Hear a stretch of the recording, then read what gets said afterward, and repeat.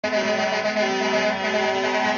la hora en Buenaventura, Gamboa, el día que no estábamos en paro, pues estamos en paro ya.